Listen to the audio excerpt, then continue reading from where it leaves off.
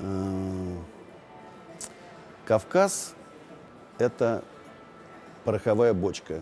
И пройдет, должно пройти, не знаю, там много сотен лет, прежде, прежде чем ситуация изменится.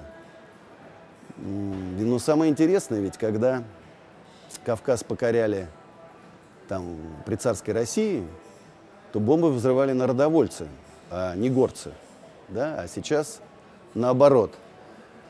Э, и мне кажется, что то поколение, которое выросло там, в Чечне, в Дагестане, резкое усиление влияния вот такого радикального исламизма, кстати, в Татарстане тоже, к сожалению, не оставляет нам надежд в ближайшее время что-то решить. Я понимаю, что там закачиваются огромные средства.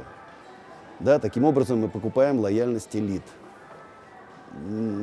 Лучше. Я не знаю, вот оказывается сейчас ведь самый, самый э, благоприятный с точки зрения обстановки в регионе это Чечня. А уже там Дагестан, Ингушетия и так далее, другие, вот они как-то сейчас растут. Почему? Пришел очень сильный человек, который правовыми, неправовыми способами, ну, вопросы решил. Да, поступают огромные деньги, но любой может посмотреть. Там мои друзья бывали в Чечне, я еще не был, но хочу съездить с концертами. Катя Лель говорит, вообще это фантастика. Грозный сейчас это, это там какой-то супер красивый европейский город.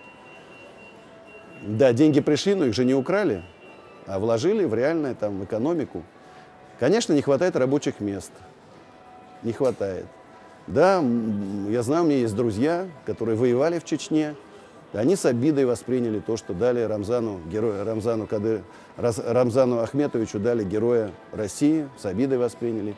С обидой восприняли, что те, против кого они воевали, занимают там должности милиционеров, служат в СВР там, и так далее.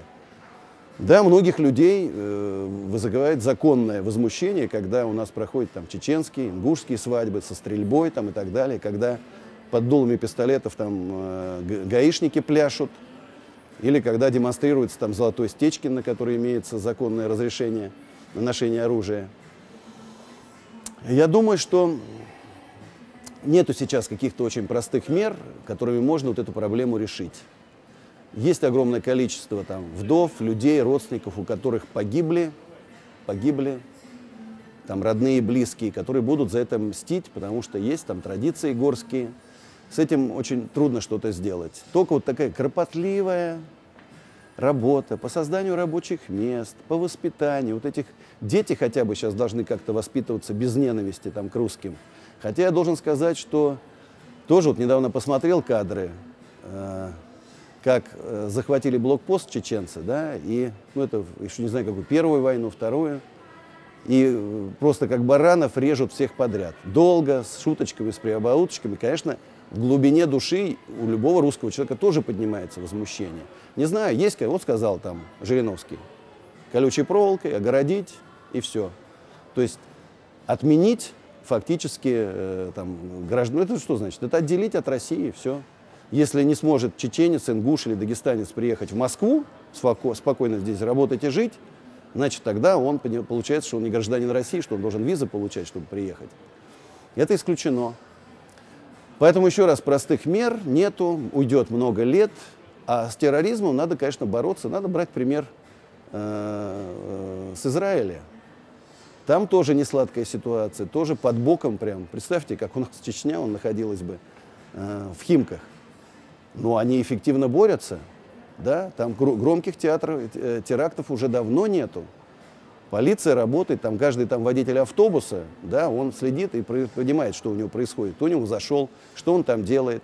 Там такого, там исключено. Поэтому надо, конечно, есть радикальный способ взять оттуда, из Израиля, там тем более наши ребята же работают, взять на работу, пригласить там несколько тысяч человек, там, полицейских, из спецназа по работе с антитеррором там, и так далее. Может, они у нас сумеют что-то исправить. Поэтому, ну, я, поскольку я интернационалист, достаточно вспомнить слова из моей песни «Слава России», и татарин, и русский, и бурят, и еврей, и чеченец, и чукчи, и башкир, и карел. Все народы России будут вместе всегда, пусть горит над Россией надежда звезда. Я за то, чтобы все народы России жили дружно, помогали друг другу в трудную минуту, чтобы не было ни ненависти, не было унижения, да, чтобы все вели себя достойно. И если я приеду в Чечню с концертом, я не буду ходить по улицам Грозного, приставать чеченским девушкам, я не буду стрелять из пистолета на его улицах. Поэтому я, хотелось бы, чтобы тоже молодежь чеченская, ингушская, дагестанская тоже вела себя в Москве прилично, вела себя прилично. И для этого старшие должны им разъяснять. И с моей точки зрения, если попало вот такое видео, возможность есть, то должен Рамзан Ахметович, я не хочу ему советовать, это он, он президент, но должен с этими ребятами проводить надо какие-то особые беседы. Знаешь? То есть надо жить в добре.